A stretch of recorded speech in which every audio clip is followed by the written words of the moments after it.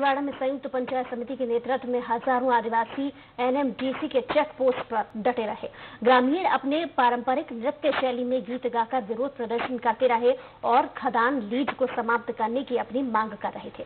मजदूर संगठन का भी समर्थन और आदिवासी आंदोलन को मिल चुका है। वहीं विगत दो दिनों से पूर्व मुख्यमंत्री अजीत जोगी भी किरंदुल से इस जन आंदोलन को समर्थन करते हुए वर्तमान सरकार की अडानी से दोस्ती और मिली भगत का आरोप लगा रहे हैं।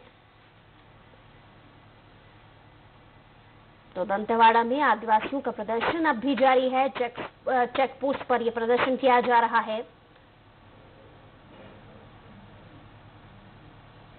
तो गीत गाकर अनोखे अंदाज में ये ग्रामीण यहाँ विरोध प्रदर्शन कर रहे हैं। अजीत जोगी ने भी आदिवासियों का समर्थन किया है और उनके साथ में इस प्रदर्शन में वो शामिल हुए हैं।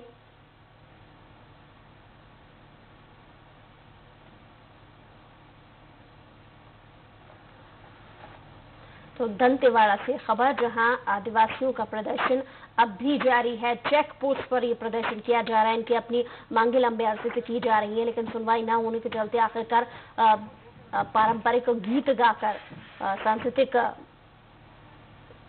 प्रदर्शनी कर, वो प्रदर्शन कर रहे हैं और आदिवासियों का समर्थन करने के लिए अजीत जोगी भी आ गए हैं सामने। और ज़्यादा जानकारी के साथ स्वराज स्वरा पंकज सिंह भदौरिया फ़ोन लाइन पर जुड़ गए हैं। पंकज इन प्रदर्शनकारियों की इन आदिवासियों की क्या मांगे हैं? आपको बता दूँ मैं कि ये जो प्रदर्शन है, तीन दिनों से चल रहा है बड़ा प्रदर्शन है जनतड़ा ज़िले में। यहाँ पर लो एस एनएमडीसी की खदान है। इसमें तेरह नंबर की डिपॉजिट की जो खदान है, वो निजीकरण में करते हुए अडानी को दे दिया गया है। ये इसी का विरोध हो रहा है। आदिवासी अपने घरों से निकले हैं, अपने रसद और राशन के साथ वो एनएमडीसी का घेराव करके रखे हैं, जिसके चलते पूरा एनएमडीसी में काम चार दिनों से ठप पड़ा हुआ है। एक दिन में एनएमडीसी को लगभग चालीस करोड़ का नुकसान होता है। चार दिन हो गए हैं लगभग एक अरब रुपए से ऊपर का नुकसान हो गया है। सबसे बड़ी बात इस आंदोलन को राजनीतिक पार्टियों का भी अब समर्थन मिल रहा है। अजीत जोगी जी पहुँचे हैं हुए हैं यहाँ पर समर्थन के लिए। तीन दिनों से वो यहीं पर डटे हुए थे।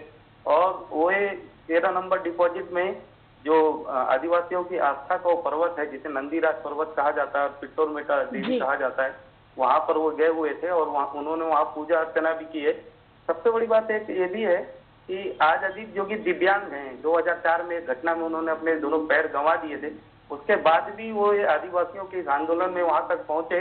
ये आदिवासियों के लिए बड़ी संजीवनी के जैसा है, क्योंकि राजनीतिक चेहरे तो वहाँ बहुत सारे पहुँच रहे हैं, लेकिन कोई भी ग्राउंड ज़ीरो तक नहीं पहुँचा उनके जीवन। जी। चलिए, बहुत शुक्रिया। कार्य के लिए पंकज